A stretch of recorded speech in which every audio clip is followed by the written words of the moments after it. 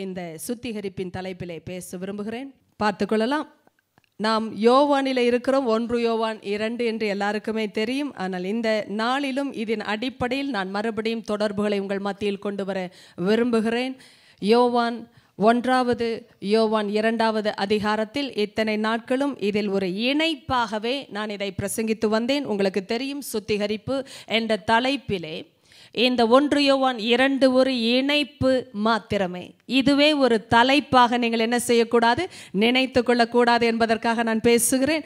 எதை நீங்கள் கற்றுக்கொண்டிருக்கிறீர்கள்? பேசுங்கள் சிலர். சத்தமாக பதில்கள். சரியான வார்த்தை. உலகத்தில் உள்ள காரியங்கள் நம்மை சுற்றிலும் இருந்தாலும் நாம் உலகத்தார் அல்ல. அவைகள் நமக்குரியது அல்ல. இதை நமக்கு சொல்லி தந்தது எது? வசனம். நன்றாய் சொன்னீர்கள். வசனம் இல்லாமல் உலகத்தையும் நம்மையும் எதுவும் பிரிக்க முடியாது. அதனால் நான் சொல்லுகிற காரியங்கள் சத்தியத்தின் அடிப்படையில் மறுபடியும் சொல்லுகிறேன்.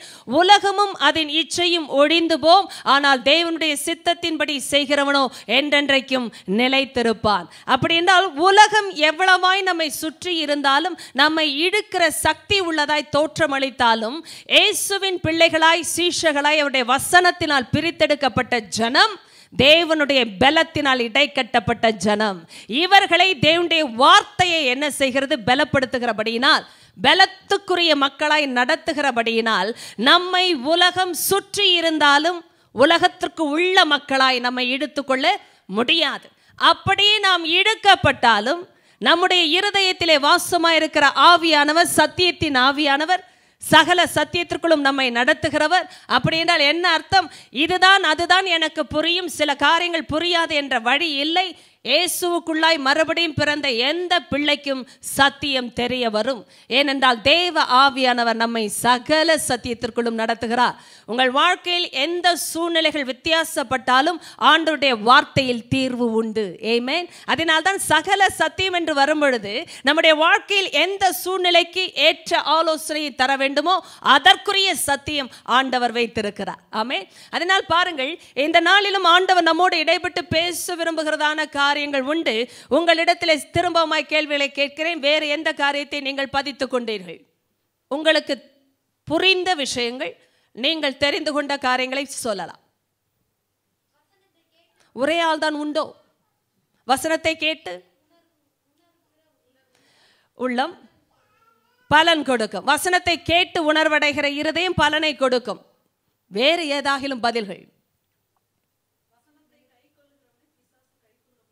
ஓ சரியாய் சொன்னீர்கள். வசனத்தை கை கொள்ளுகிறவளை பிசாசு கை போட முடியாது. வேறே? ஓ சரியாய் சொன்னீங்களம்மா இதைத்தான் போன வாரத்திற்கு முந்தின வாரம் நான் பேசி கொண்டிருந்தேன். ஒன்றரை மணி நேரம் அதை பற்றி தான் பேசினேன்.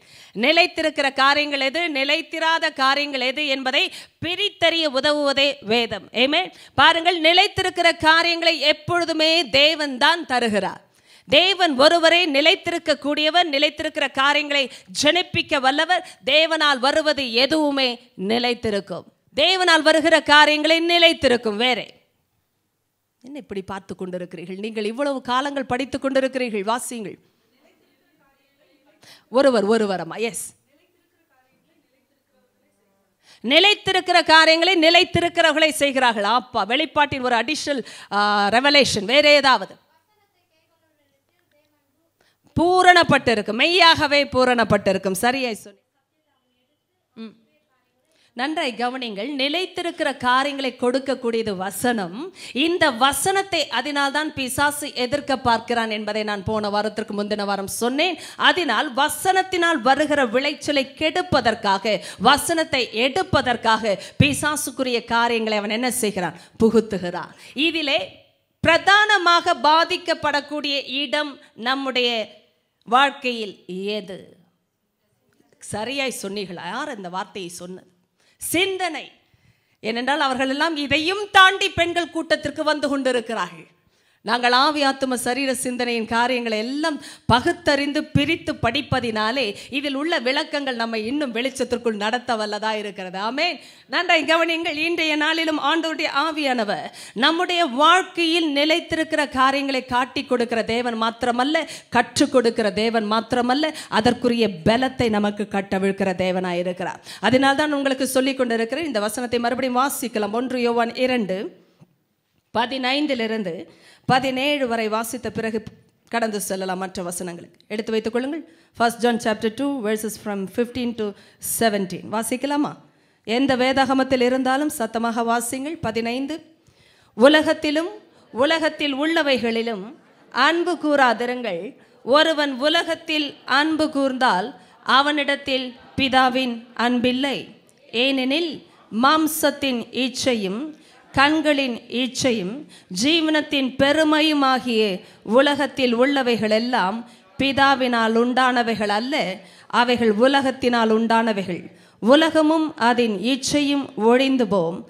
தேவனுடைய சித்தத்தின்படி செய்கிறவனோ என்றென்றைக்கும் நிலைத்திருப்பான். ஹலோ லூயா என்று சொல்லிவிட. கவனிங்க கர்த்தர் எந்த காரியத்தை நிலைத்திருக்க வைத்தாலும் பிரதானமாக வசனத்தில் நாம் பார்க்கிறோம். கர்த்தருடைய சித்தத்தின்படி செய்கிறவன் எவனோ? உங்களையும் என்னையும் நிலைத்திருக்க செய்வதே தேவனுடைய பிரதானமான ஜெயம். ஏமே அவருடைய வெற்றியின் முதலாவது முடிவான ஒரே ஒரு அதிசயம் எதன் என்று கேட்பீர்கள் என்றா? நீங்களும் நானும் தான் நம்மை நிலைத்திருக்க செய்வதே தேவனால் வருகிற ஜெயம். நான் ஆண்டவர் பெருமைப்படுகிற காரியங்கள் என்று பார்க்கும் பொழுது சுத்திகரிப்பை பற்றி வாசிக்கிற நாம் அநேக முறை நினைக்கிறோம்.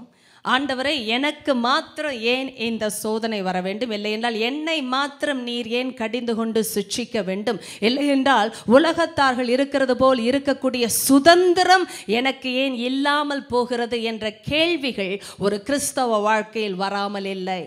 ஆனால் இந்த சூழ்நிலையிலும் ஒரு தேவ பிள்ளைக்கு ஆண்டவர் அவருடைய அறிவை வெளிப்படுத்தும் பொழுது நன்றாய் கவனிங்க ஒரு தேவ பிள்ளைக்கு இருக்கிற பிரதானமான முக்கியமான பிரதானமான என்றால் முக்கியமான விசேஷமான கிருபையே எதென்று கேட்பீர்கள் என்றால் தேவனால் வருகிற அறிவு. நீங்களும் நானும் அவரை அறிகிற அறிவு என்பதும் ஒரு கட்டளையாக கோட்பாடாக பிரமாணம் என்ற வார்த்தையாக தேவன் இந்த நாட்களில் பேசவில்லை. மாறாக நான் ஏற்கனவே உங்களுக்கு வேதத்தின் அடிப்படையில் பேசினது போல இது உறவின் வார்த்தை. ஏமே நீங்கள் எவ்வளவுக்கு எவ்வளவு உங்கள் பிதாவை அறிந்திருக்கிறீர்களோ அவ்வளவுக்கு அவ்வளவு அவருடைய பிள்ளைகளாக வாழ்வது இயல்பான காரியம். ஒரு காலம் அதை நாம் போட்டுக்கொள்ள முயற்சிக்க கட்டாயப்படுத்திக் கொள்ள வேண்டிய அவசியம் வராது. எத்தனை பேருக்கு அது புரிகிறது? அதனால்தான் நீங்கள் இருதயத்தில் பாரமடைந்து ஆவியிலே துக்கப்படுகிற நேரங்கள் வரும்பொழுது என்னை கவனியுங்கள். நான் சொல்வது தேவனால் வருகிற பாரம் அல்ல. இதையும் வேதம் காட்டி இருக்கிறது தேவனால் வருகிற துக்கம். அது மனம் திரும்புதலுக்கு ஏதுவான துக்கம். அது ஒரு காலம் நம்மை மன வருத்தத்தில் விடாது. குற்றமன சாட்சியை தருவதற்கு பதிலாக குற்றம் தீர நியாயம் தீர்க்கிற சொல்லை தரும். ஏமே தேவன் நமக்குள் நியாயத்தை அனுப்புகிற அந்த துக்கம் நம்மை குற்றமன சாட்சியில் விடாது மாறாக குற்றத்தை தீர்க்கும். ஆண்டவரால் வருகிற துக்கத்தை நான் பேசவில்லை. லௌகீக துக்கம் பாவத்தினாலோ உலக வழக்கத்தினாலோ வாழ்க்கையில் நாம் இடம் கொடுத்த சில பிரச்சனைகள் நாம அறிந்தோ அறியாமலோ. சில நேரம் அறியாமல் நாம் செய்கிற காரியங்களை நான் பேசவில்லை அறிந்தே செய்கிற காரியங்களை பேசுகிறேன். இந்த சூழ்நிலை நம்முடைய இருதயம் வருத்தப்படும் பொழுது தேவ பிள்ளையை கவனியுங்கள். அது ஒரு சரியான அடையாளம். எத்தனை பேருக்கு அது புரிகிறது? ஒரு தெய்வ பிள்ளைக்கு இது ஒரு சரியான அடையாளம். ஏன் துக்கம் வந்திருக்கிறது என்றால் நீங்கள் தேவனால் மறுபடியும் பிறந்தவர்கள். நீங்கள் தேவனால் நடத்தப்படுகிறவர்கள். தேவன் உங்களில் கிரியை செய்து கொண்டிருக்கிறார். அதனால் தான் அந்த துக்கம் வந்திருக்கிறது. என்னை கவனிங்கள் தேவனுக்கு பிரியமில்லாத காரியங்கள் நமக்குள் வரும் பொழுது தேவனால் கொடுக்கப்படுகிற அந்த குற்றம் தீர வைக்கிற நியாயம் சொல்லுதலாகிய ஆவியானவருடைய கிரியை நமக்குள் செயல்படுவதினால் தான் நாம் பாரப்படுகிறோம். நான் வேதனைப்படுகிறோம். ஆண்டவரே நான் உம்மை துக்கப்படுத்தி விட்டேன் உமக்கு பிரியமில்லாததை சிந்திக்கிறேன். பேசுகிறேன்ப்பா என் நடத்தையில் சுத்தமில்லை. என்றெல்லாம் நமக்குள் வருகிற அந்த நியாயம் தீர்க்கிற வார்த்தைகள் என்றால் என்ன அர்த்தம்? குற்றப்படுத்துகிற வார்த்தைகள் அல்ல. நம்மை குற்றம் தீர வைக்கிற வார்த்தைகள். அது சரியான அடையாளம். நாம் ரட்சிக்கப்பட்டிருக்கிறோம். நாம் தேவனுடைய பிள்ளைகளாக இருக்கிறோம். தேவனால் நடத்தப்படுகிறோம் என்பதற்கு அது அடையாளம். நீங்கள் வேதனைப்படுவதினாலே விலகாதிருங்கள். எத்தனை பேருக்கு புரிந்து கொண்டிருக்கிறது? கஷ்டப்படுவதினாலே கசந்து கொள்ளாதிருங்கள். தேவனால் சுட்சிக்கப்படுகிற மனுஷன் பாக்கியவான். தேவனுடைய புத்திரர்கள் சுட்சிக்கப்படுகிறார்கள் உலக பிதாக்களே தங்களுக்கு நன்மை என்று தோன்றினபடி கொஞ்ச காலம் நம்மை சிட்சித்தார்கள் என்றால் பிரயோஜனம் எப்படிப்பட்ட பிரயோஜனம்? நித்தியத்திற்கு வருகிற பிரயோஜனம். அதை மனதில் வைத்து நம்முடைய ஆவியின் பிதா நம்மை சிட்சிக்கிறார் என்றால் இந்த சிட்சிப்பு நமக்கு பாக்கியமானது. தேவ பிள்ளையை நீங்களும் நானும் சிட்சிக்கப்படவில்லை என்றால் வேசியின் பிள்ளைகளாக இருப்போம் என்று வேதமே சொல்லுகிறது. அப்படி என்றால் நமக்கு ஒரு பிதா இல்லை என்ற அர்த்தம். அந்த பிதாவுக்கு பெயர் இல்லை என்ற அர்த்தம். எத்தனை பேருக்கு அது புரிகிறது? தேவன் நம்மோடு இடைப்பட்டு பேசும் பொழுது பெயருள்ளவராக நம்மை ஜனுப்பித்த கண்மலையாக நம்மை மறுபடியும் உருவம் கொடுத்த தகப்பனாக ஆவியில் நமக்கு வெளிப்பட்டு இருக்கிறார் இதற்கு நாம் பாக்கியசாலிகளாக இருக்கிறோம். அதனால் கவனித்து கேளுங்க நீங்க சுத்திகரிப்பு என்ற அந்த வார்த்தையை படிக்கும் பொழுது இது சட்ட திட்டத்தின் வார்த்தை அல்ல. மாறாக தேவனுடைய அன்பினால் கொடுக்கப்படுகிற சாரத்தின் வார்த்தைகள். இந்த சாரம் தான் நம்மை உயிரோடு வைத்திருக்கிறது. மெருகோடு வைத்திருக்கிறது களையோடு வைத்திருக்கிறது. ஏமே இந்த களை தேவனால் கொடுக்கப்பட்டது நமக்கு. அதனால் செடியோடு இணைந்திருக்கிற கொடியே உங்களை சுத்தம் செய்வதே தேவனுக்குரிய பெருமை. என்னை கவனிங்க நிறைய நேரம் நாம் நினைக்கிறோம் நாம் செய்கிற ஊழியங்களுக்காக நாம் செய்கிற காரியங்களுக்காக தேவன் நம்மை பாராட்டுகிறார் நம்மை நேசிக்கிறார் என்று. ஏனென்றால் நாமும் நம்முடைய பிள்ளைகளை அப்படித்தான் நடத்தி விடுகிறோம். நமக்கு தோன்றினபடி கொஞ்ச காலம் சிட்சிக்கிற நாம் நம்முடைய சிந்தனையில் எது நலமோ அதை மனதில் வைத்து சிட்சிக்கிறோம் ஆனால் தேவன் நம்முடைய பிரயோஜனத்துக்காகவே நம்மை சிட்சிக்கிறார் ஏமே என்ன கவனிங்க பிரயோஜனம் எது? அப்பிரயோஜனம் எது? சரியானது எது? தவறானது எது என்று யார் நமக்கு சொல்லித்தர முடியும்? என்னை நன்றாய் கவனிங்க என்று இருக்கிற சாரமே அதுதான் இன்றைக்கு சத்தியத்தில். Be holy as I am நான் பரிசுத்தராகையால் நீங்களும் பரிசுத்தராய் இருங்கள் என்று எழுதி இருக்கிறதே லேவியர் அகமத்திலிருந்து வாசித்தால் எழுதி இருக்கிறதே அதைத்தான் இன்று வாசிக்க போகிறோம். ஒன்று பேதர் ஒன்றுவில் எழுதி இருக்கிறதே என்னை கவனிங்க இதை நான் வாசித்த பொழுது என்று சொல்ல மாட்டேன். இதை சிந்தித்த பொழுது என்ன நடக்கும் நன்றாய் கவனிங்க. நிறைய நேரம் நாம் நினைக்கிறோம் ஆண்டவர் எப்படி என்னிடத்தில் பேசுவார்? ஆழமான காரியங்கள் எல்லாம் எனக்கு எப்படி புலப்படும் என்றால் நீங்கள் அதற்காக கவலைப்பட வேண்டாம். உங்களுக்குள் இருக்கிற ஆவியானவர் உங்களை நடத்துகிறார். எப்படி நடத்துவா? வீட்டுக்குள் உட்கார்ந்திருந்தால் நடத்த மாட்டா. சபையில் வைத்து நடத்துவா. சபையில் வைத்து நடத்தும்போது எதை சொல்லி நடத்துகிறார்? வருகிற வாரம் ஜெபத்தின் வாரம். வா மகளே மகனே என்று அறிக்கையின் மூலமாக நடத்துகிறார். நடத்த மாட்டார். நீங்கள் வந்து பாருங்கள் நடத்துவார். ஜெபத்தில் இருப்போம் ஆராதனையில் இருப்போம். போதகர் மூலமாய் தீர்க்க தரிசனங்கள் வரும் பொழுது நீங்கள் ஆண்டவருக்குள் ஒப்பு கொடுத்து சத்தியத்தில் இணைந்து ஸ்தோத்திரம் சொல்லி ஆமைன் சொல்லி அறிக்கை பண்ணி பாவத்தை களைந்து ரத்தத்தை வரவேற்று பேசி கொண்டிருக்கும் போதே வெளிச்சம் உதிக்கும். இதுவரைக்கும் புரியாத ஒரு சத்தியம் திடீரென்று விளக்கத்தில் வரும். ஆண்டவர் அப்படித்தான் நடத்துகிறாருங்க. நாம நம்முடைய வழியில் இருக்கும் பொழுது ஆண்டவர் நடத்துவது இல்லை. என்னை கவனிங்கள் நம்முடைய வழியில் தேவன் நம்மை நடத்துவது இல்லை. அவருடைய வழியில் நடத்தவே அவர் நம்மை நடத்துகிறார். ஆமென். நம்முடைய வழியில் நடப்பதற்கு தேவன் தேவையில்லை. எத்தனை பேருக்கு அது புரிகிறது? நீங்களே தேவர்களாய் இருப்பீர்கள். பிசாசுக்கு பிடிக்காத விஷயம் நம் தேவனால் நடத்தப்படக்கூடாது. அவன் நடத்த வேண்டும் என்று சொல்லவும் மாட்டான். அவன் சொல்லுவான் நீயே உன் வாழ்க்கையை நடத்து. இதை கேட்கிற எல்லாருக்கும் ரொம்ப சந்தோஷமா இருக்கும்ல?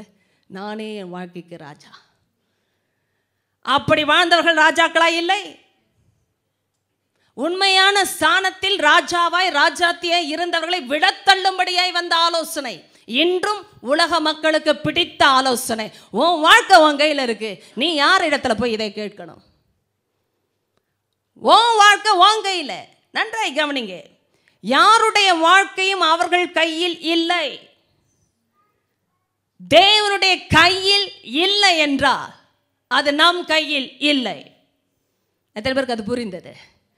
நிறைய நேரம் நினைக்கிறார்கள் என் வாழ்க்கை என் கட்டுப்பாட்டில் இருக்கிறது. இல்லை.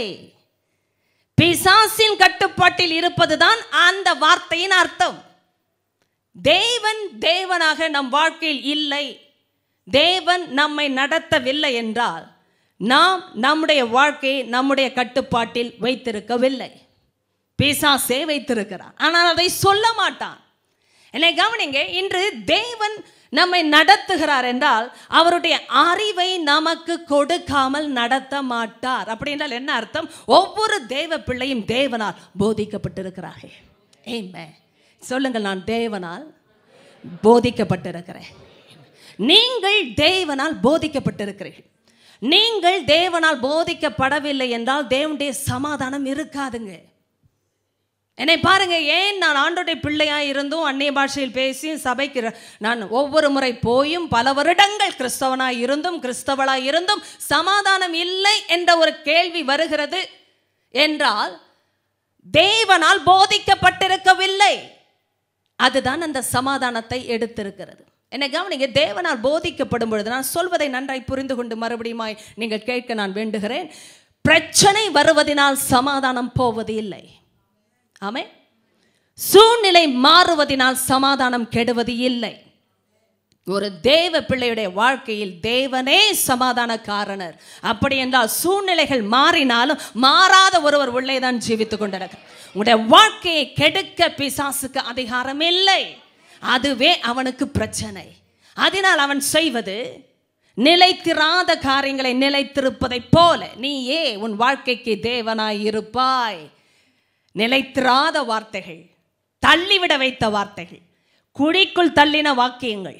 ஆனால் அவன் சிங்காசனத்தில் இனிமேல் தான் உட்கார வைக்க பண்ணுவதைப் போல் பேசின காரியங்கள். தேவ பிள்ளையே வஞ்சனை. இன்றும் அதைத்தான் செய்கிறான். அதனால் தான் தேவன் அவனை விட பராக்கிரமசாலி அவனை விட சர்வஞானி. எத்தனை பேருக்கு அது புரியுது அவனை விட வேதத்திற்கே அதிகாரி. அவன் வேதத்தை பயன்படுத்தலாம். என்னை கவனிங்கள் சாத்தான் வேதம் மோதுகிறது என்று சொல்லுவார்கள் உலகத்தில். உண்மைதானே?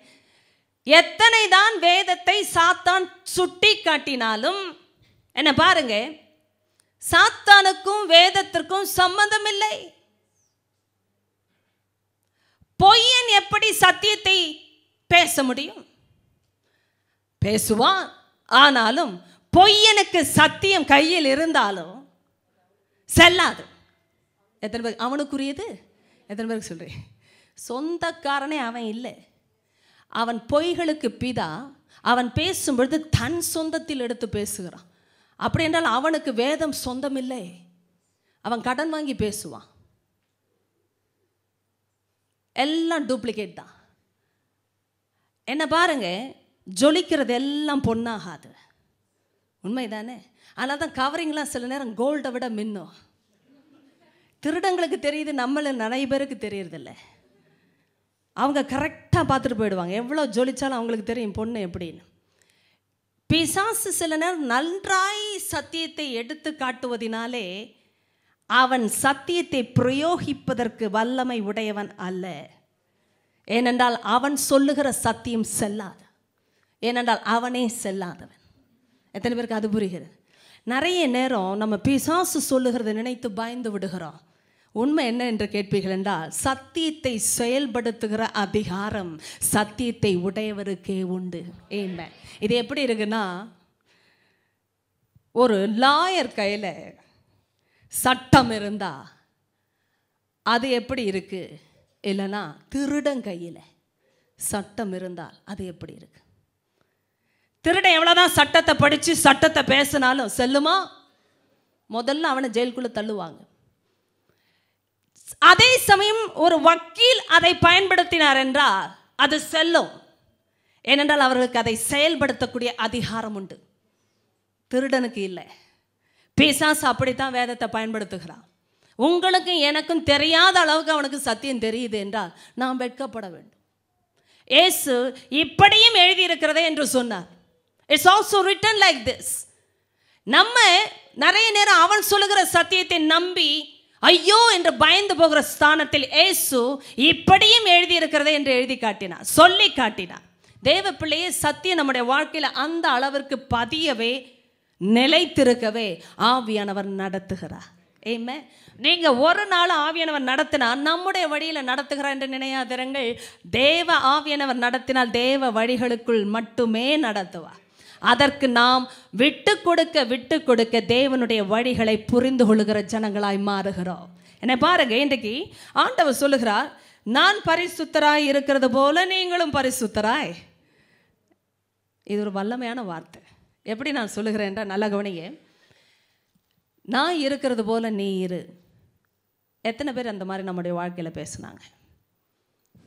கொஞ்சம் கற்பனை செய்து கொள்ளுங்க அந்த காரியங்களை. என்ன மாதிரி நீ இரு? பெற்றெடுத்த அப்பா சொல்லியிருப்பார்ல? ஸ்கூலில் இருக்கிற டீச்சர் சொல்லியிருப்பாங்களா?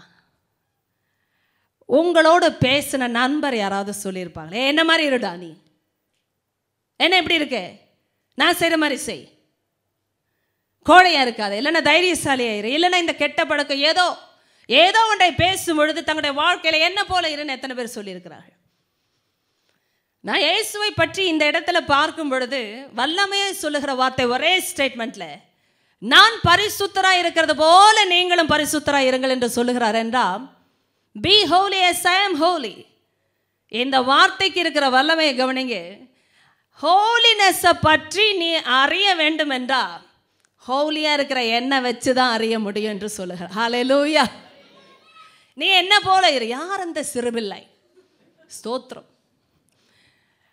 பாருங்க எவ்வளோ வல்லமைய பிள்ளைகள் இணைந்து சொல்லுகிறார்கள். ஆமே நல்லையிலுயா அதனால தான் சிறு பிள்ளையை போல் மனம் திரும்பாவிட்டால் நீங்கள் பரலோக ராஜ்யத்தில் பிரவேசிக்க மாட்டீர்கள். ஆமே லூயா எவ்வளோ உண்மை. இதெல்லாம் சின்ன பிள்ளைய போல நம்மலாம் மாறணும். சபையிலேயே மாறலாம் சமுதாயத்தில் எங்கே ஆண்டருக்காக பேச போகிறோம். இதெல்லாம் நமக்குள்ள ஒரு ஆண்டவர் வெளிச்சத்தை அனுப்புகிற காரியங்கள் அல்லவா? சத்தியத்திலும் சத்தியம். என்ன கவனிங்க என்னை போல மாறு என்று யார் சொல்லுகிறார் இங்கே? அதுதான் விஷயம். நான் ஹோலியாக இருக்கேன் நீ ஹோலியாக இருனா இதுதாங்க உண்மையான ஹோலினஸ் எனக்கு தெரியாத விஷயங்களை தெரிந்து கொள்ள வேண்டும் என்று நான் எத்தனையோ பேரை நம்பி இருந்தேன். ஸ்கூலில் சொல்லிக் கொடுத்த ஆசிரியர்கள் என் கூட இருந்த நண்பர்கள் புத்தகங்கள். இங்கிலீஷில் தான் பேச வரோம் அப்புறம். இன்டர்நெட்டு ஃபேஸ்புக்கு எதை எடுத்தாலும் கூகுள். எனக்கு தெரியாத விஷயங்கள் எல்லாம் நான் தெரிந்து கொள்ளணும்னா எனக்கு நிறைய கருவிகள் உலகத்தில் வந்திருக்கிறது. இணைப்புகள் வந்திருக்கிறது. நிறைய தகவல் பரிமாற்றங்கள் நடந்து கொண்டிருக்கிறது. ஆனா ஒரே ஒரு விஷயம் சவால். தகவல்கள் நிறைய உலகத்தில் கிடைக்கலாம். ஆனா ஒரு மனுஷனுடைய வாழ்க்கையில அவனுடைய குணாதிசயத்தையே மாற்றுகிற ஒரு தகவல் என்றால் மூளை அறிவு அல்ல தேவ பிள்ளையே அது தேவனால் இருதயத்துக்குள் வருகிற அறிவு. இந்த அறிவு தான் ஒரு மனுஷனுடைய குணாதிசயத்தையே மாற்றி அமைக்கிறது. It's about the character of somebody be holy as I am holy அப்படின்னா நீ பரிசுத்தமாக இருக்கணும்னு நான் சொல்லிவிட்டு விடவில்லை உன்னை தனியே நீயாக என்னை பின்பற்றி என்ன என்று உன்னை நான் கைவிட்டு விடவில்லை. மாறாக என்னை போல் மாறு என்று சொல்லி அழைக்கிறேன் என்று சொல்ல ஏமே என்னை போல மாறு. ஏமே என் கிட்டே நீ வரும்பொழுது என்னை போல மாறுகிறாய். என்ன பாருங்க தேவபிள்ளை உங்களை நான் வாழ்த்துகிறேன் பாராட்டுகிறேன். நேரம் எடுத்து வேதபாட வகுப்புக்கு நீங்கள் வருகிற கூட்டம். ஒருவேளை நீங்கள் வராமலேயே விலகி இருந்து பாருங்களேன். நல்லா இல்லை. எனக்கு ஒன்றும் பிரச்சனை இல்லை. நானும் வராமல் இருக்கணும்னு தான் நினைப்பேன். ஆனால் நல்லா இல்லை. எத்தனை பேருக்கு அது புரிகிறது? நீங்கள் நினைக்கிறீங்களோ ரொம்ப ஜோஷாக வந்து அப்படியே உற்சாகமாக அப்படியே போதிக்கிறார்கள் என்று நாங்களும் மனுஷங்க தானே. ஏற்ற இறக்கங்கள் உண்டல்லவா? சில நேரம் யாராவது பிரசங்கிக்க மாட்டார்களா என்று நினைத்த நாட்கள் அநேகம். ஆண்டவருக்கு தான் தெரியும். யாராவது நமக்கு ஊழியம் செய்ய மாட்டார்களா என்று ஏங்கின தருணங்கள் அநேகம். இதுதான் ஊழியம். ஆனால் விஷயம் என்ன தெரியுமா? மனசு நல்லா இல்லை. வீட்டில் தூங்கி பாருங்க நல்லா இல்லை. டிவி பார்த்து பாருங்க நல்லா இல்லை. கிறிஸ்தவர்களே கவனிங்க. நீங்க எவ்வளவு சிரிச்சாலும் நல்லா இல்லை. மனது வலிக்க எத்தனை முறை சிரிச்சிருக்கிறோம். அடுத்தவங்க பார்க்கணுமேனே சிரிச்சோம். ஏன்னா நம்ம டல்லாக இருக்கிறது அவங்களுக்கு தெரியக்கூடாது. உண்மையா இல்லையா? நம்ம வாழ்க்கையில் இதெல்லாம் ஆண்டவர் ஏன் சொல்லி காட்ட வேண்டும்? என்ன போல நீ இரு என்று தான் சொன்னாரே ஒழிய நீ பரிசுத்தமாக இருன்னு கட்டளை கொடுக்கல. எத்தனை பேருக்கு அது புரிகிறது? சந்தோஷமான வார்த்தை. Be holy as I am holy as I am holy be holy என்ன மாதிரி நீ இரு அப்படி என்று ஒரு அப்பா சொல்லுகிறார் என்றால் பிள்ளைக்கு அது சுலபமாக கடினமா? நான் கேட்டது பிள்ளைக்கு. பிள்ளைக்கு. ஏமே ஒரே குடும்பத்தில் பிறந்தவங்களுக்கு உங்களுக்கு தெரியும் அந்த குடும்பத்துக்குரிய சுபாவம் தொற்றாமல் போகாது. உண்மையா இல்லையா? ஓ சின்ன வயசில் பிறந்து வளரும் பொழுதெல்லாம் தகப்பன்மார்களுக்கு ஒரு பெருமை உண்டு. பெண் பெண் பிள்ளைகளை பார்க்கும்போது என்ன மாதிரியே என்று சொன்னாலே போதும். என் பொண்ணு என்ன மாதிரியே இருக்குன்னு சொல்லியிருக்கிறாங்க. எங்கள் அப்பாவுக்கு அந்த பெருமை ரொம்ப உண்டு. பொண்ணு என்ன மாதிரின்னா ரொம்ப பெருமைப்படுவார். பையனை விட்டுட்டார். அம்மாவுக்கு பெருமை உங்களுக்கு பொதுவாகவே தெரியும் மகன்கள். என் பையன். என்ன மாதிரியே இருக்கான்னா அம்மாவுக்கு அப்படியே டபுள் ஆயிடுங்க சீக்கு. பிள்ளைகள் ஸ்டேஜில் இருந்து பெர்ஃபார்ம் பண்ணாலே நான் பார்ப்பேன் பெற்றோர்களை. கண்ணில் தண்ணி. ஏன்னா எனக்கும் ததும்ப தானே செய்யும் என் பிள்ளைனா ஆனால் மற்றவங்க பிள்ளை எடுக்கும்போது கண்டுக்கவே மாட்டான் இவங்க பிள்ளை விட மற்றொரு பிள்ளை நன்றாய் நடனமாடும். நல்ல பைபிள் வாசிக்கும். நல்ல டான்ஸ் போட்டாலும் சிரிப்பு வராது. ஏன்னா இது அவங்க பிள்ளை இல்லை. எத்தனை பேர் புரியுது? இயல்பாக வருகிற சுபாவங்களை பேசுகிற தேவனுக்குள்ளே இருக்கிற சுபாவங்களை பேசவில்லை. இயல்பாக இருக்கிற சுபாவங்கள். ஒரு அப்பாவோட பிள்ளைன்னா ஒரு குடும்பத்திற்கே நான் பார்க்குறேன் வயது ஆக ஆக நம்ம குணமும் நம்முடைய பழக்கமும் நம்ம அப்பா அம்மாவை போலவே இருக்குது எத்தனை பேருக்கு அது புரிகிறது? சில பேருக்கு பிடிக்காது. கேட்டுதான் ஆகணும் நானும் பார்க்குறேன். நாள் ஆக ஆக ஆக. அடையே அம்மா மாதிரியே மாறிக்கிட்டு இருக்கிறனே. வேற என்ன வரும்? எப்படி சாவறதுக்குள்ள வரும். சில ஹேபிட்ஸ்லாம் பார்த்தீங்கன்னா ரொம்ப ஃபன்னியாக இருக்கும். எனக்கு எங்கள் அம்மாவுக்கு கம்பேர் பண்ணும்போது. அவங்கள போலவே இருக்கிறேன் சில விஷயங்களில். அந்த பழக்கங்கள் உங்களுக்கே தெரியும் குடும்பத்தில். அம்மாவுக்கு என்ன ஆகுதோ அது எனக்கு ஆகும். ஏன்னா அந்த ஹேபிட்ஸு நாங்கள் பழகிறது செய்கிறது சில காரியங்கள் நடைமுறைகளில் we imitate our parents we become like our parents ஏன்னா குடும்பம் அதுதான். வாழ்க்கை அதுதான். எவ்வளோ ஆச்சரியமான ஒரு இணைப்பு அதெல்லாம். இல்லைங்களா? சந்தோஷமாக இருக்குது அண்டனால படம் பார்க்கும்போது வயது ஆக ஆக என்னுடைய அம்மாவோட செலவிடுகிற நாட்களில் நான் ரொம்ப சந்தோஷமாக இருக்கிறேன். ஏன்னா அது ஒரு வல்லமையான இணைப்பு குடும்பத்தில் நடக்கிற இணைப்புகள். அந்த பாசத்தின் காரியங்கள் தேவனால் பகிர்ந்து கொடுக்கப்படுகிற காரியங்கள் நாம் ஒரு நாளும் மறுதளிக்க முடியாத காரியங்கள் மறுக்க முடியாத விஷயங்கள். நாம் நம்முடைய பெற்றோர்களைப் போல இருக்கிறோம் அநேக விஷயங்கள். ஆமே ஆனால் கவனிங்க இந்த பரலோக பிதா எவ்வளோ வல்லமையாய் பேசுகிறா? நான் பரிசுத்தராக இருக்கிறது போல நான் இது ஒரு தனியாக எடுத்து படித்திருப்பேன் என்றால் பயந்திருப்பேன். பரலோக பிதா அப்படின்றலாம் வந்திருக்காது. தேவன் பரிசுத்தர் பேர். நான் பரிசுத்த நீங்களும் பரிசுத்தராயிருங்கள். அப்படியா சொன்னா? நம்ம படிக்கும்பொழுது அப்படிதான் தோன்றும். ஐயப்பா என்னமா மிரட்டுறார் சபைக்கு வர்ற பிள்ளைகளை நான் உங்களை தனிப்பட்ட நிலைமையிலும் குடும்பமாகவும் கோத்திரமாகவும் சொல்லுகிறேன். நிறைய நேரம் நினைக்கிறோம் ஐயோ இதெல்லாம் சப்ஜெக்ட் எல்லாம் ரொம்ப பெரிய சப்ஜெக்ட்டுங்க அதெல்லாம் வளர வளர தாங்க வரும். அப்படிலாம் இல்லைங்க. சொல்லுவாங்கல்ல மீன் குட்டி நீந்தும் போதே சொல்லலாமா? அது என்ன மீனுன்னு? என்ன எப்படி பார்க்குறீங்க? வளர வரல வேற மீனாவா மாறும். அது எந்த மீன் குட்டியாய் ஜனிப்பிக்கப்பட்டதோ அந்த தன்மையில் தான் அது நீந்துகிறதா? பழமொழியில் சொல்வார்கள் அது நீந்துவதை வைத்தே அது எப்படிப்பட்ட மீனாக இருக்கும் என்று சொல்லலாம். எதிர்நீச்சல் அடிக்கிற மீன் குட்டிங்க இருக்கும் பார்க்குறீங்களா தாயை போலவே அடிக்கும்.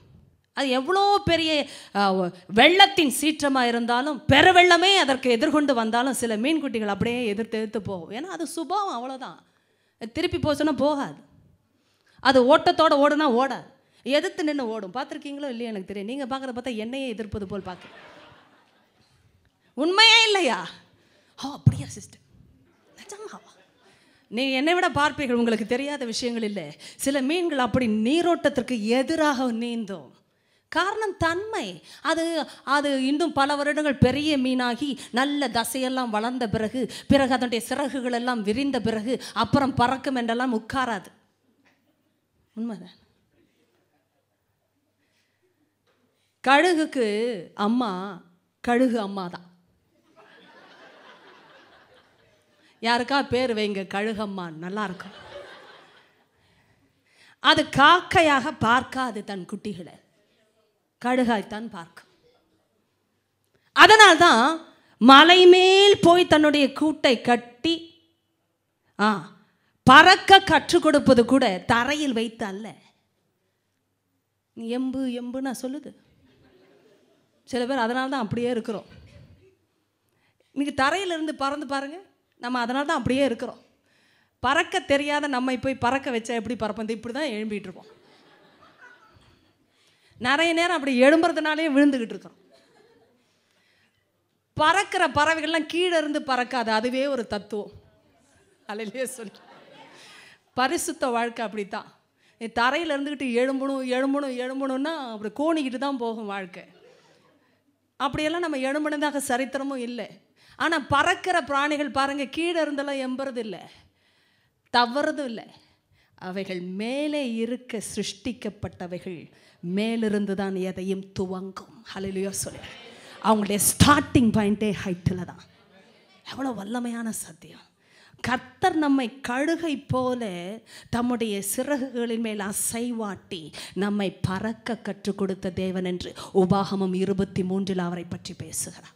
Amen. எத்தனை பேருக்கு அது புரிகிறது. உபாகமம் இருபத்தி மூன்றா என்று நான் தெளிவாக பார்த்து விடுகிறேன். நீங்கள் உடனே பார்ப்பீர்கள் என்று எனக்கு தெரியும். ஏனென்றால் இது இப்பொழுது வந்த காரியங்கள். நான் பார்த்து விட்டு வரவே இல்லை. Deuteronomy thirty two twenty three அல்ல தேர்ட்டி டூ அதை நீங்கள் வீட்டிலே வாசிக்கலாம். எப்படி கழுகு தன் கூட்டை கலைத்து வசனம் பதினொன்று எத்தனை பேர் பார்த்தீர்கள்?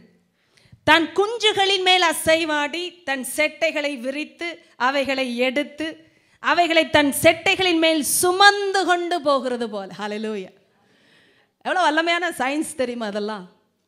ஹலலூயா ஓ பைபிளில் எல்லாம் இருக்கு. செட்டைகளின் மேல் அசைவாட்டி தன் குஞ்சுகளை பறக்க வைக்கிற தன்மையை தரையிலிருந்து கழுகு ஒரு நாளும் ஆரம்பிப்பது இல்லை. ஏனென்றால் கழுகின் உயரமே கண்மலையின் உயரம். ஹalleluya தேவ பிள்ளை என்ன பாருங்க. சத்தியத்தை வாசிக்கும் பொழுது ஆண்டவன் நம்மை கட்டளைகளாக ஒன்றை கொடுத்து கைவிடுகிற தேவன் அல்ல. மாறாக கட்டளைகளை காட்டுகிற தெய்வம் கற்றுக் கொடுக்கிற தேவன் மாத்திரமல்ல. கூடவே இருந்து நம்மை பயிற்றுவிக்கிற தேவன். ஹலோ நீங்க நான் என் தன்மை உள்ளவர்கள் என்பதை காட்டுகிறதே வேதம்தான். நீ ஹைட்டில் ஸ்டார்ட் பண்ணா தரைக்கு வந்து நீ தள்ளாடாதே என்று தேவன் சொல்லுகிறார். ஏமே you started on the height never ever started from the ground your beginning is in the height உங்களுடைய ஆரம்பம் உயரம்தான். இயேசுக்குள் நான் பேசி கொண்டிருக்கிறேன் தரையில் இருந்த வார்த்தை கூட இல்லை. அந்த வார்த்தையை நீங்கள் உபாகமன் தேர்ட்டி டூவில் வாசிப்பீங்கன்னா எந்த இடத்துக்கு தேடி வந்தார்னு அவரே சொல்லுங்க. ஊழையிடம் வரும் பாடும் கிணற்றில். பாடும் கிணத்துல தள்ளி விட்டானேன்னு சொல்லுவாங்கல்ல. பாடும் கிணற்றுல தள்ளி விட்டால் சாகவும் முடியாது உயிரோடவும் இருக்க முடியாது. இது என்னங்க வார்த்தை இதெல்லாம்? பாடம் கிணற்றுல தள்ளன வாழ்க்கை தான் பிசாசு நம்மை. ஆனால் தெய்வன் ஊக்கமுடன் நம்மை தேடி கண்டுணர்த்தி இதை ஒரு பாடலாகவே பக்தன் பாடி தமிழில். ஊக்கமுடன் நம்மை தேடி கண்டுணர்த்தி தேவனே நம்முடைய கண்மலையாக மாறின ஒரு சரித்திரம் அங்கே எழுதப்பட்டிருக்கிறது. என்ன கவனிங்க? இந்த ஸ்டேஜில் இருந்த உங்களையும் என்னையும் கர்த்தர் குழியிலிருந்து உங்களுக்கு தெரியும் சாம்பலிலும் யாரா முடிக்கிறதுக்கு உண்டோ? குழியிலுமா? ஆ, உளையான சேற்றில் தூக்கி எடுத்தாரே. அந்த நிலைமையிலிருந்து தூக்கினவர் இன்று நம்ம எங்கே வைத்திருக்கிறார்? அவரோடு கூட ஏமேன் தேவனுடைய வலது பாரிசத்தில் நம்மை வைத்திருக்கிறார் என்றா உங்களுக்கு எனக்கும் உயரம் அவருடைய உயரம். Amen. Never ever underestimate yourself. Yourself you easy no easy person to the devil பிசாசுக்கு நீங்கள் சாதாரணமான ஆளே இல்லை. அவனுக்கு அது தெரியும். எத்தனை பேருக்கு அது புரிகிறது? உங்களுக்கும் எனக்கும் தெரிய வேண்டிய சத்தியம் அவனுக்கு தெரிஞ்ச விஷயம் அதனால தான் சொல்லுகிறேன். உங்களுக்கு எனக்கும் தெரிய வேண்டிய சத்தியம் நீங்களும் நானும் சாதாரணமான ஆளே இல்லை. கழுகோட குஞ்சு நல்லா கவனிங்க. உங்களுக்குரிய தன்மையே பறக்கும் தன்மை. எதிர்காற்றை தாண்டி எழும்பக்கூடிய தன்மை. ஏனென்றால் இது தானாக வரும். ஏனென்றால் ஜனிப்பிக்கப்பட்ட விதம் அது. ஏய் என்று சொல்லிவிடு. நீங்கள் தேவனாலே பிறந்தவர்கள். எந்த குடும்பத்தில் எந்த அப்பா அம்மாவுக்கு பிறந்திருந்தாலும் சில பேருக்கு தாய் தகப்பன் சரியா இல்லாமல் இருக்கலாம். சில பேருக்கு தாய் தெரியல தகப்பனை தெரியல. உண்மை அதுதான். சிலருக்கு எல்லாருக்கும் எல்லாம் இல்லை. குடும்பம் சரியில்லை. உண்மைதான். ஆனா நான் சொல்லுகிறேன் தேவனாலே பிறந்த உங்களுடைய எதிர்காலம் தேவனுக்குரியது. நீங்க உங்களை தரம் குறைவா நினைக்காதீங்க. என்ன கவனிங்க உங்களை தரக்குறைவா நினைக்க ஆரம்பிக்கிற அந்த நிமிஷத்துல தான் பிசாசு உங்களை என்னையும் தள்ளுகிறான். உண்மையா இல்லையாங்க? உங்களுடைய டிக்னிட்டியை என்றைக்கு நீங்கள் மறக்கிறீர்களோ அன்று பிசாசு நம்மை அழிக்க ஆரம்பிக்கிறான். உண்மை அவ்வளோதான்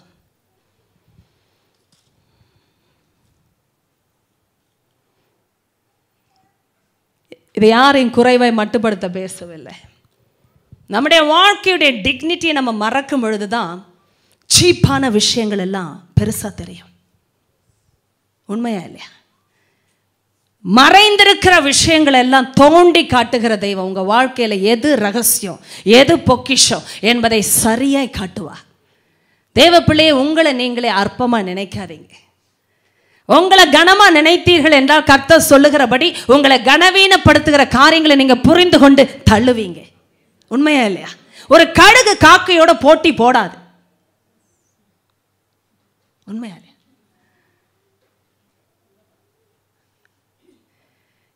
யார்கிட்டையும் போய் சண்டை போட்டு நியாயம் சொல்லி நியாயத்தை காட்டி உங்களை நிரூபிக்க வேண்டிய அவசியம் ஒரு நாள் போகும். ஆரம்பத்தில் இருக்கும்.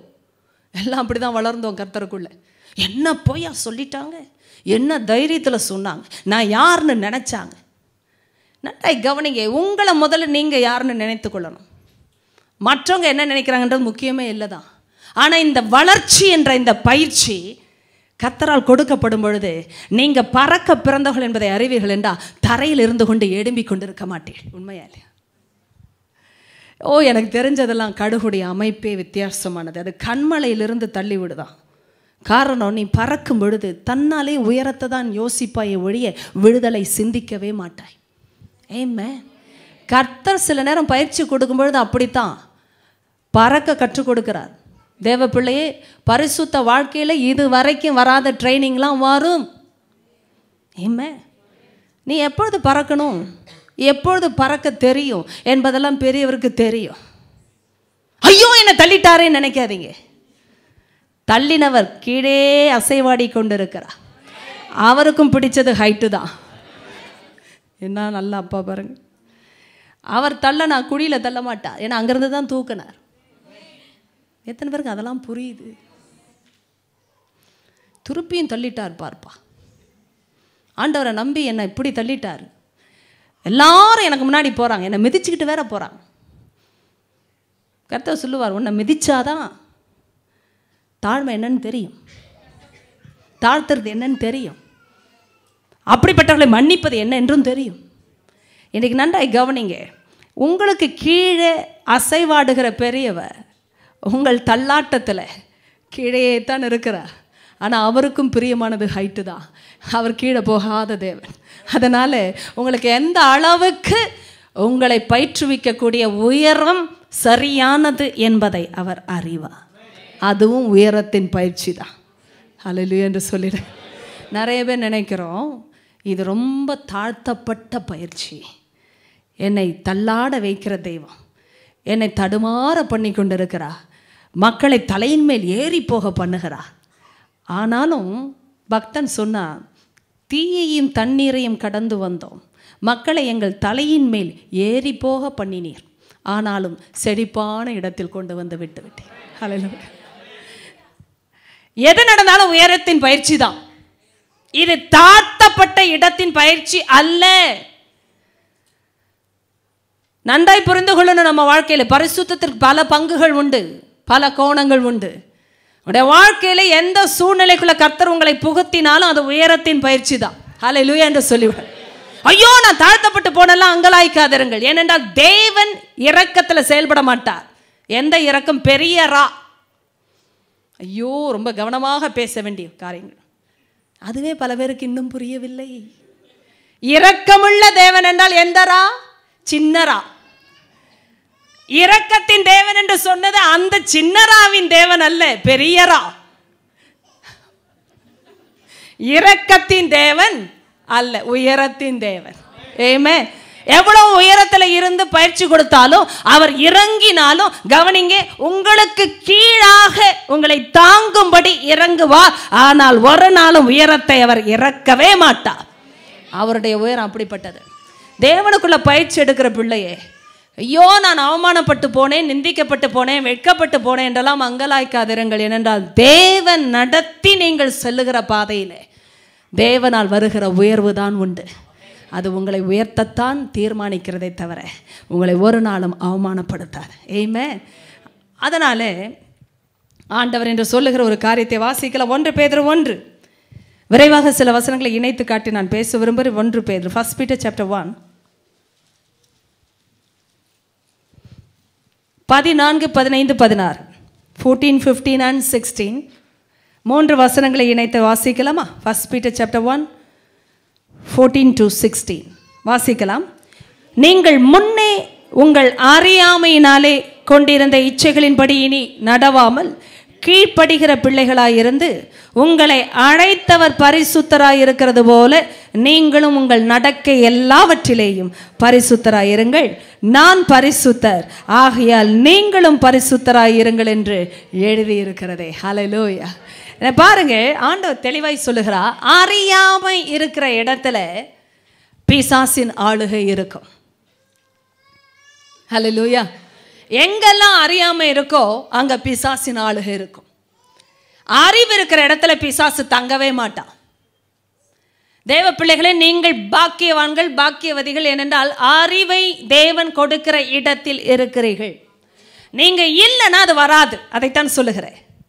இந்த இடத்தை நீங்கள் ஏற்படுத்தி கொண்டீர்கள். ஏனென்றால் சபையில கத்தர் இந்த ஸ்லாக்கியத்தை எல்லா பிள்ளைகளுக்கும் ஆண்டவர் கொடுத்து கொண்டு தான் இருக்கிறார். ஆனால் பெற்றுக்கொள்ளும்படி வருகிறவர்கள் பெற்றுக்கொள்ளுகிறார்கள் என்ன பாருங்க அறியாமை எங்கே இருக்கோ அங்கே பிசாசின் ஆளுகை இருக்கும் என்று சொன்னேன். அப்படி என்றால் அறியாமையின் அதிபதி பிசாசு. Whether there is there is darkness எபேசியர் நான்கில் இதைத்தான் ஆண்டவர் சொன்னார். அறியாமை இருந்த காலங்கள் நம்முடைய இருதயம் எதில் இருந்தது அந்தகாரத்தில் இருந்ததாம். அந்தகாரத்தில் இருந்தபடினால் நம்முடைய சிந்தனையும் பாருங்கள் உபயோகமற்ற சிந்தனை. அப்படி என்றால் என்ன அர்த்தம்? Useless thought life our thinking was in futility we were in to futile thinking அப்படின்னா என்ன அர்த்தம்? சிந்திச்சோம். ஆனால் சிந்திக்க வேண்டிய பிரகாரமாக சிந்திக்கலை. இங்கே நிறைய பேர் நன்றாய் கவனிங்க நிறைய தாட் லைஃப் நமக்குள்ள இருக்கிறதுனால நம்ம நல்லா சிந்திக்கிறோன்ற அர்த்தமே இல்லைங்க. உண்மைதானே? Be holy as I am holy that's how God says to us ஆண்டவர் சொல்றாரு என்கிட்ட வந்தாதான் என்னை பற்றி தெரிய வரும். என்னை பற்றி தெரிய வந்தால்தான் உனக்கு தெரியும் பரிசுத்தமாக இருப்பது என்ன என்பது. என்றால் பரிசுத்தர்கிட்டே வந்தால்தான் பரிசுத்தம் தெரிய வரும். ஏமே the more you feel unholy about yourself go to the holy god. எப்பெல்லாம் ரொம்ப அசிங்கமா ஃபீல் பண்றீங்களோ நல்லா இருக்கிறவர்கிட்ட போங்க. இது எப்படி இருக்கு? என்ன சிஸ்டர் இவ்வளோ சிம்பிளா நம்ம ரொம்ப மோசமாக இருக்கும்போது தான் மோசமானவங்க கிட்டே போவோம். இது மோசம் ப்ளஸ் மோசம் ஈக்குவல் டு மோசம் ஸ்கொயர் உருப்படுமா வாழ்க்கை? அதுதான் செய்தோம். நம்ம செய்து கொண்டு இருக்கிறோம் பாருங்கள் சில நேரம். ரொம்ப டல்லாக இருக்கும்போது ரிமோட்டை கையில் எடுத்தால் எது வரும்? என்ன வரும் நமக்கே தெரியும். ரொம்ப ஒரு மாதிரி டல் ஃபீலிங்ப்பா போர் அடிக்குதுன்னு வச்சுக்கோங்களேன். இந்த போர் அடிக்கிறது சரியான வேர்டே இல்லை. அங்கே பிசாசு பக்கத்திலே இருக்கான்னு அர்த்தம். என் போர் அடிக்கிற ஆசாமிகளை எங்கே தள்ளுவான்னு நமக்கு தெரியுமே. போர் அடித்த கரையங்கள்லாம் இங்கே படிச்சிருக்கீங்களா பைபிளில்? போர் அடித்தப்போ உலாவுவாங்க. உலாவக்கூடாத இடத்துல உலாவாங்க அப்புறம் அங்கேருந்து விடுவாங்க. கடுகு அங்கே இருக்க வேண்டிய ஆள். எங்கே? இருக்க வேண்டிய உயரத்தில் யுத்தம் செய்யாமல் உலாவுனா அவ்வளோதான் இப்போ புரியுதா உங்களுக்கு? இந்த யுத்தம் செய்ய வேண்டிய கிறிஸ்தவங்கள்லாம் உலாவுறாங்க. ஏன்னா போர் அடிக்குதா ஈவினிங் வாக் டெரஸ் வாக் என்ன நினைக்கிறோம் நம்ம வேதத்தை? இப்படி தான் பிரித்து காட்டுகிற தேவாவியானவ உங்கள் போர் அடித்தா பரிசுத்தர்கிட்ட போங்கன்னு யார் சொல்லித்தரா? ஐயோ என்ன சிஸ்டர் சப்ஜெக்டே கனெக்ட் ஆகலையே. உன் போர் அடித்தா பரிசுத்தர்கிட்ட போங்கன்னு சொன்னால் எப்படி இருக்குது யார் அந்த பரிசுத்தர்? அப்படின்னு உலகத்தார்கள் கேட்பாங்க. உங்களுக்கு எனக்கு தெரியாது யார் அவருன்னு? சி நிறைய நேரம் பிசாசு நம்ம இழுக்கிறதுக்கு காரணம் என்ன தெரியுமா? இந்த தள்ளாடுற ஸ்டேஜில் தான் இழுத்துடுறான். ஆனால் தள்ளாடுகிற ஸ்டேஜில் கூட சத்தியம் தெரிகிற பிள்ளை சரியான அப்ரோச்சை வைத்திருப்பார்கள் என்றால் யார்கிட்ட போகணும் என்ற ஒரு டிசிஷன் தான் இங்கே வேலை செய்யுது. நல்லா கவனிங்க. ரொம்ப பெரிய பரிசுத்தத்தின் முயற்சியெல்லாம் நான் பேசவே இல்லை. When you are tempted to the cow when you know you're vulnerable that's when your decisions are very crucial எப்படி முடிவெடுக்கிறோம் என்பதை தான் பிசாசு பார்க்கிறானே ஒழிய நம்ம இழுத்து பறித்து அழிக்கக்கூடிய அதிகாரம் அவனுக்கு இல்லவே இல்லை. ஓ வல்லமையான காரியம் இதெல்லாம். ஜேம்ஸ் சாப்டர் ஒன்றில் நான் நான்கு வருஷத்துக்கு முன்பாகவே சொல்ல வேண்டும் என்று தீர்மானித்த காரியங்கள். த மெக்கானிசம் ஆஃப் டெம்டேஷன் எல்லாரையும் பிடிச்சி இழுக்க மாட்டான். அவன் அவ்வளோ ஒன்றும் பைத்தியக்காரன் இல்லை. எத்தனை பேருக்கு அது புரியுது? இழுத்த அவனே இழுத்துருவாங்கன்னு தெரியும். ஐயோ எத்தனை பேருக்கு அது புரிகிறது? தெரியாமல் போயிடாதையா பக்கத்தில். காலி ஆயிடுவேன். அப்படின்னு அவங்க கூட்டத்திலே சொல்லி வச்சிருக்குது அது யார்கிட்ட போகணும்னு உனக்கு சொல்கிறேன் எதை காட்டணும்னு சொல்கிறேன் சரியாக காட்டு. சரியாக வந்துடும் ஆள். ஐயோ. எப்படி சிஸ்டர் கரெக்டாக அதை தான் அவன் காட்டுறான். ஒவ்வொரு தடவையும் பாருங்கள் பைபிள் ஸ்டடி முடிச்சுட்டு கண்ணை நேராக தான் வச்சுக்கிட்டு போவேன். காட்டுவான் பாருங்க கரெக்டாக காட்டுவான் எல்லாரையும் எடுக்க முடிவதில்லை பிசாசாலே. எவனை விடுங்கலாமோ என்று எத்தனை பேருக்கு அதெல்லாம் புரியுது? எவனை? எவளை விடுங்கலாமோ என்று அப்படி பார்க்குது இப்போவே பிசாசு. என்ன நினச்சிடாதீங்க. உங்களுக்கு நான் பயிற்சியில் காட்டுகிறேன். யாரை விடுங்களான்னு அப்படி பார்க்கும்போது அவனுக்கு கரெக்டாக கேண்டிடேட் தெரியும். நீ என்ன தான் வேதபாட வகுப்பில் வந்து அல்லையா போட்டாலும் உனக்கு தெரியும். எனக்கும் ஒன்று தெரியும். நீ வீட்டுக்கு போன என்ன செய்வே? போகிற வழியில் என்ன செய்வே? உன் ரூமில் என்ன செய்வே? போத்திக்கிட்ட பிறகு என்ன செய்வே? எல்லாம் தெரியும் சொல்லும். காரணம் எல்லாரையும் எடுக்க முடியாது. எத்தனை பேருக்கு புரிகிறது? இதெல்லாம் தான் விஷயம். பிசாசு எல்லாரையும் விழுங்க முடியலையாம் யாரை விழுங்கலாமோவென்று வகை தேடி சுற்றி இப்போ அவன் வேலையே சுற்றுறது தான். இப்போ எத்தனை பேருக்கு அது புரியுது? இந்த சுற்றி திரியறதெல்லாம் நிறுத்துங்க. புரியுதா உங்களுக்கு? யாரை பிடிக்கலானே சுத்துறது.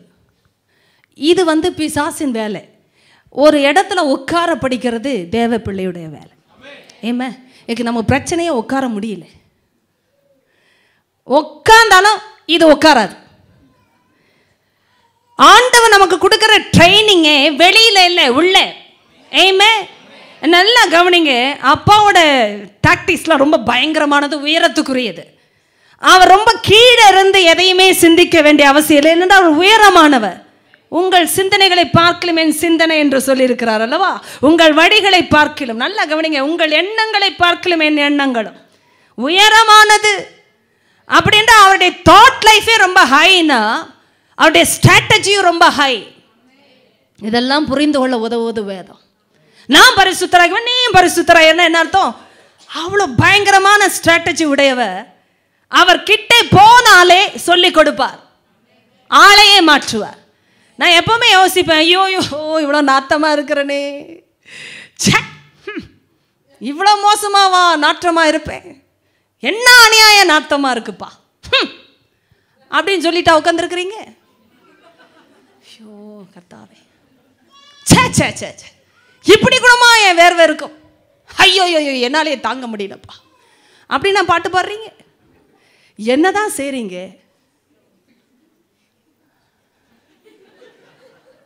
நேராக உங்களுக்கே தெரியும் என்ன செய்யணும்னு. இதை விட எந்த சோப்பு சூப்பர் ஸ்மெல்லாக இருக்குமோ அதை கூட வாங்கினா வாங்குவீங்களே தவிர நாற்றத்தை பற்றி என்னைக்காவது பாட்டு பாடுவீங்களா? அதை விட சூப்பரான பாடி ஸ்ப்ரே என்ன கிடைக்குமோ? அதனால தான் சில பேர் குளிக்காட்டியும் நம்பிக்கையாக இருக்காங்க பாடி ஸ்ப்ரே மேலே. அடித்தாலும் அடிப்பேன் பக்கத்தில் இருக்கிற ஆள் செத்தாலும் பரவாயில்ல. நான் நல்லா இருப்பேன்ற நம்பிக்கை இருக்குல்ல? அப்போ நம்ம வாழ்க்கையில் இருக்கிற அழுக்கை பற்றி நம்ம பாட்டு பாடுவதில்லை. மாறாக என்ன செய்கிறோம்? ஷவரை திறந்த ஐய போட வேண்டியதை போட்டு குளிக்க வேண்டிய விதமாக என்ன கல் கிடைச்சா கூட தேய்ச்சிடுவோம் நமக்கு வேண்டியது அவ்வளோதான் ரெமெடி எதை போட்டால் எது போகும்ன்று நமக்கு எல்லாருக்குமே தெரியுமே. இந்த கர்த்தர் ஆவிக்குரிய நிலைமையில சொல்லும்போது மாத்திரம் சோம்பேறித்தனம். ஆமாம் பைபிளை யார் இப்போ தூக்கி திறந்து படிக்கிறோம் அதுதான் ப்ராப்ளம் சுத்தமா இல்லைன்னா சுத்தத்தை கொடுக்கிறவர் இடத்தில் அல்லவா போக வேண்டும்? ஏமே நல்லா கவனிங்க. அதனால தான் ஆண்டோடைய வீட்டுக்கு யாரும் வரலாம் எந்த சூழ்நிலையிலும் வரலாம் யாரும் வரலாம் நீங்கள் எவ்வளோ அழுக்க உணர்ந்தாலும் வர்ற இடம் இங்கே தான் ஏமே நீங்கள் வந்த பிறகு திரும்பி போகும்போது உங்களுக்கே தாங்காது. உங்கள் சுத்தத்தை. அதை சொன்னேன் இப்போ. ஏய் நானா இவ்வளோ அழகாக இருக்கேன்னு கண்ணாடியில் வச்சிருந்தேன் அப்போ தான் அழகையே பார்ப்போம். சே குளித்தாலும் என்ன பிரகாசமாக இருக்கும் பத்தியா? நமக்கே நம்மை தாங்கவில்லை. ஏனென்றா நம்ம அவ்வளோ சுத்தமாக இருக்கோம். நல்லா கவனிக்கணும் இதை செய்யறதுக்கு ஒரு முயற்சி என்று நான் சொன்னாலும் என்ன கவனிங்க? நானாக தேய்த்து என்னை சுத்திகரிக்க முடியாது. கரெக்டு தானே? சரி நாத்தமே போ. ஏசு நாமத்தில். இல்லை ஆண்டவர் கொடுக்கிற விஷயங்கள் அவருடைய வார்த்தையில் வரும் பொழுதே சுத்தமாகும். நான் சோப்பையோ ஷாம்புவையோ எனக்குரிய காரியங்களை கர்த்தர் இந்த உலகத்தில் கொடுத்துருக்கிற விஷயங்கள் இருந்தே பேசுகிறேன் அதை நான் அப்ளை பண்ணால் போதும். சுத்தம் தானாக வரும். ஆண்டவர் கொடுக்குற வார்த்தை அப்படி தான் எவ்வளோ வார்த்தையை சாப்பிட்றீங்களோ அவ்வளோக்கு அவ்வளோ ஆரோக்கியம். இது உன் உடலுக்கெல்லாம் ஆரோக்கியமாகும். ஏமே இது உன் உடலுக்கெல்லாம் ஆரோக்கியம். எவ்வளோ வல்லமையான வார்த்தை. உள்ளிருந்து புறம்பாக வருகிற ஆரோக்கியம் அதனால தான் எவ்வளோ ஒஸ்ட்டு சின்னராக ஃபீல் பண்ணுறீங்களோ அவ்வளோ கவலை பிசாசு சொல்லுவான் பாரு நீ கான் கேஸு என்ன உன்னை சுத்தம் பண்ணி என்ன ஆக போகுதுன்னுவான். இது எத்தனை பேருக்கு புரியுது? ஆனால் காலையில் தான் உட்காந்து அறிக்கை செஞ்ச ஆண்டவரை திரும்பியும் அறிக்கை செய்ய வேண்டிய நிலமையில சேர்ந்துருச்சுப்பா லோடு நான் கேட்குறேன் எவ்வளோ லோடு சேர்ந்தாலும் அன்லோட் பண்ண நமக்கு தெரியாது. அதனால தான் டெய்லி ரெண்டு தடவை குளிக்கணும்னு குளிங்க. மூணு தடவை குளிக்கணும்னு குளிங்க. எவ்வளோக்கு நான் அழுக்கு சேர்ந்த குளிங்க. விஷயம் அவ்வளோதான் எவ்வளோக்கு எவ்வளோ வேணுமோ அவ்வளோக்கு எவ்வளோ சுத்திகரிப்பு கர்த்த தருவார். போங்க. யோசிக்காம எடுங்க வேதத்தை கையில். ஆண்டவரே ஸ்தோத்திரம் சொல்லி பாருங்க. உங்களை விட்டு எனக்கு கதி இல்லையான்னு கேட்டு பாருங்க. நீங்க வேற ஆளை தான் வெளியில வருவீங்க. ஏமே சத்தியம் நிச்சயம். கரங்களை தட்டி அப்பாவுக்கு நன்றி சொல்லி பெற்றுக்கொள்கிறேன்னு சொல்லுங்க. ஏசுவின் நாமத்தில் அப்படியே ஆகட்டும் பிதா. நீ சொன்னபடியே ஆக கடவுள் ஏசுவின் நாமத்தில். ஆமே இதுதான் விஷயம். ஆண்டவர் ஒன்றை சொல்லும் பொழுது இந்த அறியாமை இருக்கிற இடத்துல தான் பிசாசு ஆளுகை செய்ய பார்க்கிறா. ஏய் எனக்கு இப்படியெல்லாம் ஒரு சோப்பே தெரியாதுப்பா. என் வாழ்க்கையில் இப்படிலாம் அப்ளை பண்ணால் சுத்தம் வரும் என்றே தெரியாது என்று சொல்லுகிறவர்கள் தான் நாற்றத்தில் இருக்கிறார்கள். அழுக்காக இருக்கிறார்கள் தங்களை குறித்தே குறுகி போயிருக்கிறார்கள். ஆனால் இந்த அறிவை பெற்றுக்கொண்டவர்கள் அடுக்கை பற்றி ஒரு நாளும் பயப்படுவதே இல்லை. எத்தனை பேருக்கு அது புரிகிறது? நான் கேட்குறேன் எத்தனை முறை கையில் டர்ட் ஆனாலும் உடனே போய் நம்ம எடுக்கலை? என்ன வல்லமையா முதல்ல போய் அங்கே தான் நிற்போம் நமக்கு யாராவது இன்ஸ்ட்ரக்ஷன் கொடுக்கணுமா? இல்லை பல்பு எரியணுமா தலையில்? சொல்லுங்க. இதெல்லாம் பே பேரண்ட்ஸ்க்கு ஒரு பெரிய ஏன் பைபிள் விடுறா படிமா சாப்பிடாததுக்கு முன்னாடி. ஐயோ ரெண்டு வார்த்தை சொல்லுமா? ஜெபம் பண்ணுமா? என்னத்துக்குங்க? தன்னால் வர வேண்டாம்? அழுவிய சொல்லுங்க. அனுபவிச்ச ஆளுக்கு தானே ஏன் வரும். ஏய் ஏற்கனவே குளிச்சாளு இப்போ எவ்வளோ அழுக்காக இருந்தாலும் பரவாயில்ல திரும்ப குளிப்பேன். சுத்தத்தை அனுபவித்த ஆளுக்கு தான் தெரியும் சுத்தத்தில் இருப்பது என்ற அனுபவம். உண்மையா இல்லையா? சுத்திகரிக்கப்படாத ஆள்னு நீங்கள் சொல்லுங்க பார்ப்போம் அது உண்மையே இல்லை. இயேசுக்குள்ள வந்த பொழுதே வந்தது சுத்தம்.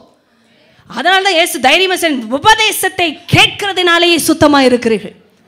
உங்களை யாரும் சுத்தம் பண்ண வேண்டாம். நீங்க உங்களை பற்றி குற்றப்படுத்தி கொள்ளவே வேண்டாம். என் முன்னாடி உட்காந்து என் சத்தத்தை கேட்டதுனாலே சுத்தமாகி விட்டாய். எவ்வளவு வல்லமையான அப்பா இவர். கூட்டமே உட்காந்து கேட்க கேட்க கேட்க கேட்க ஆண்டு சொல் என் உபதேசத்தினாலே நீங்கள் சுத்தமாக இருக்கிறீர்கள் எவ்வளோ வல்லமையான சுத்திகரிப்பு இதெல்லாம். அவங்க ஏதாவது ஐயோ என் பாவை எப்பொழுது போகுமோ? என் நாற்றம் எப்பொழுது தொலையுமோ என்னுடைய கழிவு எப்பொழுது என்னை விட்டு விலகுமோ? அப்படியே பேசினா இல்லை.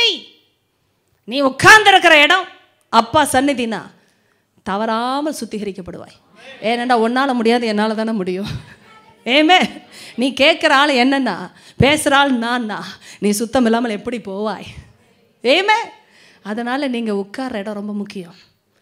எங்கே போய் உட்காருகிறீர்கள் மிக முக்கியம். நீங்கள் ரொம்ப சோர்ந்து போயிருக்கும் பொழுது உங்களை பற்றியே கேவலமாய் உணரும் பொழுது உங்களை பற்றிய பிசாசு குற்றப்படுத்தும் பொழுது நீங்கள் எங்கே போய் உட்காருகிறீர்கள் என்பது மிக மிக முக்கியம். பேசாசுக்கு இடம் கூடாதுருங்க சொல்லுங்க ஏசுவின் நாமத்தில் நான் அவர் சமூகத்தில் போய் உட்காருவேன். அவ்வளவுதான். ஏமே ஆண்டவர் சொல்கிறார் எனக்கு ரொம்ப வல்லமையான காரியம். நம்முடைய நடைமுறை லைஃப்பில் யோசுவா கிட்ட மக்களை எல்லாம் தலைவர்களை ஜனத்தலைவர்களை அந்த அதிபதிகளை கோத்திரத்தின் எல்லா தலைவர்களையும் அழைத்த பொழுது அவர்கள் எல்லாரும் கூடி வந்து தேவனுடைய சந்நிதியில் நின்றார்கள். என்ன கவனிங்க எல்லாம் போய் கோயிலுக்கு முன்னாடி நின்றாங்கன்னு பைபிள் சொல்லலை. தேவ சந்நிதியில் நின்றார்கள். ஆண்டவர் பேச ஆரம்பித்தார் யோசுவாவை கொண்டு. என்ன எனக்கு ஆச்சரியமான விஷயம். எல்லாம் கூடி வர்ற இடம் கர்த்தருடைய சமூகம்னா அதுதான் தேவனுடைய சந்நிதி.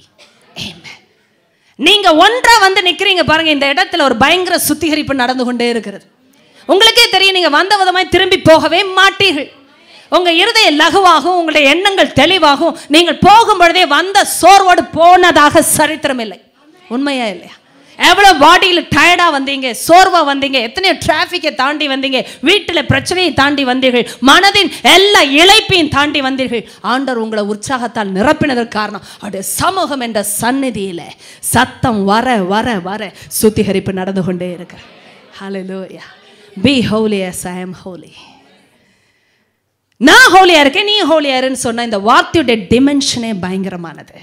ஏனென்றா என்னை அல்லாமல் உனக்கு பரிசுத்தம் என்று என்ன என்றே தெரியாதபடினால் நீ என்னிடத்தில் வா என்று சொல்லுகிறவ என்னை போல் மாறு என்று சொல்லுகிறா. ஏமே என்கிட்ட வந்து நீ என்னை போல் மாறுவாய். அவ்வளவுதான். வேற யார்கிட்ட இந்த உபதேசம் கிடையாதுமா ஐயா நீங்க எந்த ஆள்கிட்ட உலகத்தில் போனாலும் இந்த உபதேசம் கிடையாது. ஒருவேளை அவங்கள போல நம்மை மாற்றி இருந்திருக்கிறார்கள். உண்மை அதுதான். நம்ம யார்கிட்ட ரொம்ப நெருங்கி பழகுறோமோ அவங்கள போல தான் இருப்போம். பார்த்துருக்கிறீங்களா சில நேரம் சொல்லுவாங்க அந்த ஓனர்ஸையும் டாகையும் பார்த்தா ஒரே மாதிரி இருக்கும். I'm not telling something you know the நான் எப்போவுமே ரொம்ப ஃபன்னியாக இருக்கும். ஒவ்வொரு நாய் ஃபேஸை பார்த்த பிறகு அந்த ஓனரையும் பார்ப்பேன். வெளியில் போய் சொல்லிடாதீங்க. நீங்கள் கண்டிப்பாக சொல்லுவீங்கன்னு எனக்கு தெரியும். அந்த நாய் மாதிரியே ஃபேஸ் அவருக்கும் இருக்கும்ல அவரை போல் நாய் மாறிச்சான்னு தெரியாது. ஏன்னா அந்த இணைப்பு அப்படி. உங்களுக்கு புரியணும். That's an emotional connection and bonding that has taken place over a period of time இது இயல்பாகவே தெரிய வருகிறது. அதே போல் நம்ம யாரோட ரொம்ப நெருங்கி இருக்கிறோமோ பழகுறோமோ அவர்களை போல தான் மாறுகிறோம். இது எவ்வளோ வல்லமையான காரியம்? அதனால தான் கர்த்த அவரோடு அ- உறவில் வைத்துக்கொள்ள ஆசைப்படுகிற தெய்வம்.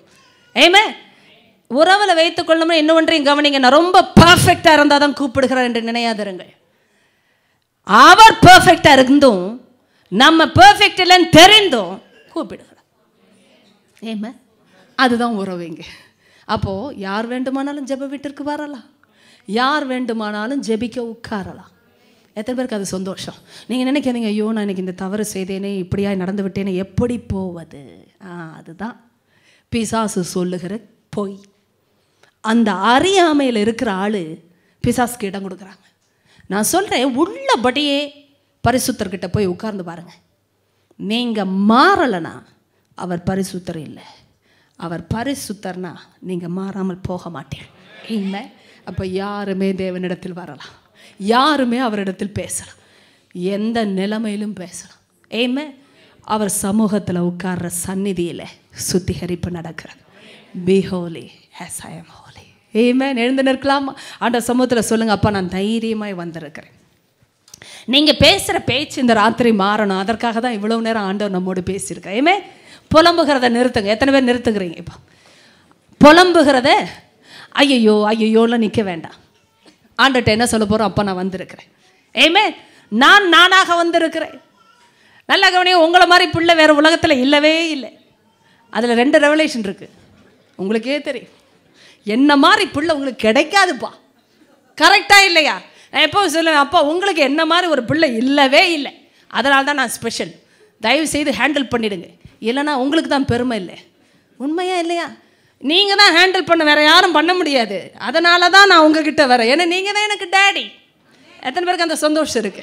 நீங்கள் எவ்வளோ ஒஸ்ட்டாக ஃபீல் பண்ணுறீங்களோ அப்பாவுக்கு அது பெஸ்ட்டு ஏன்னா அவர்கிட்ட வர்ற எதுவுமே அவருக்கு தெரியும் எப்படி ஹேண்டில் பண்ணணும்.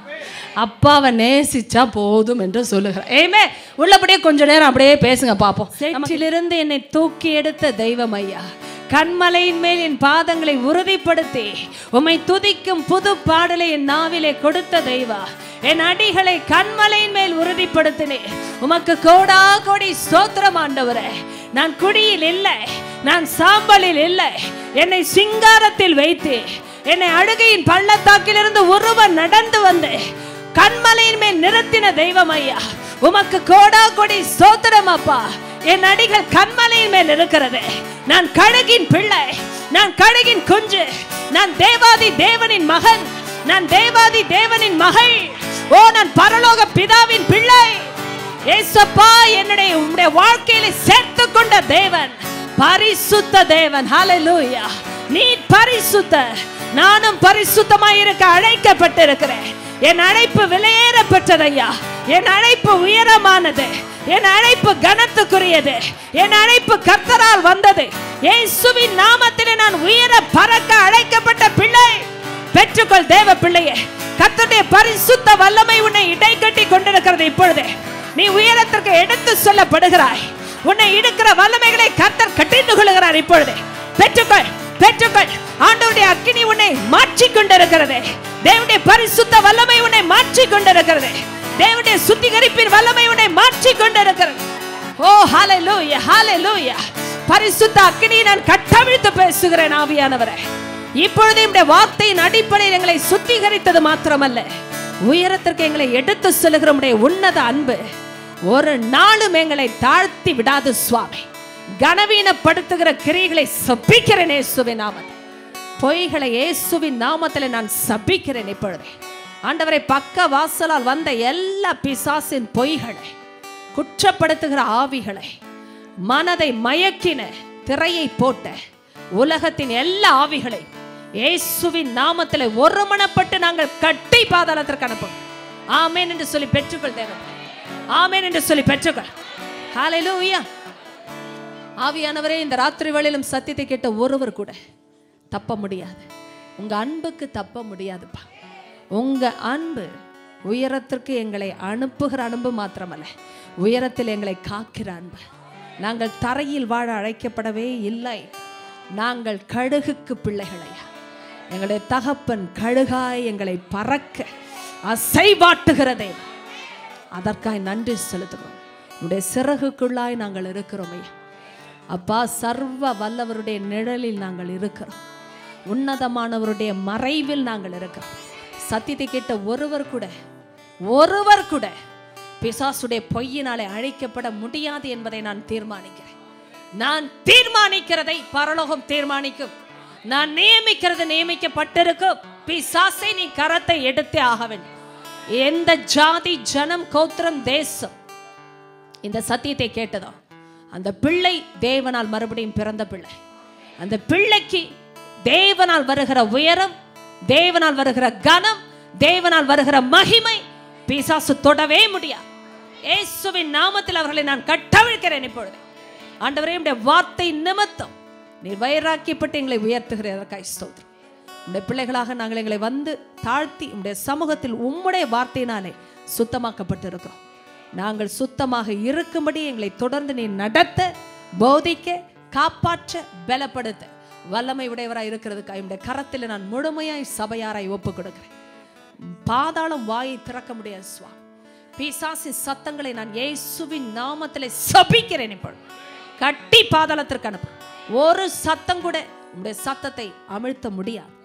உங்களுடைய சத்தம் கோலியாத்தின் சத்தங்களை பார்க்கிலும் வல்லமையுடைய சத்தம். தொடர்ந்து நம்முடைய பிள்ளைகளை ஜெயிக்க வைக்கட்டும்.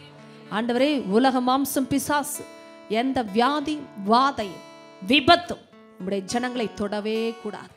உடைய ரத்தத்துக்குள்ளாக அவருடைய வாகனங்களை போக்கையும் வரத்தையும் அவருடைய ஆகாரத்தையும் தண்ணீரையும் நான் ஒப்பு கொடுத்து ஆசீர்வதிக்கிறேன். ஆண்டவருடைய ஆரோக்கியம் கிருபை ஒவ்வொருவரையும் ஆளுகை செய்யட்டும். எல்லா மகிமையும் துதியும் நீர் மாத்திரம் எடுத்துக்கொள்ளும்.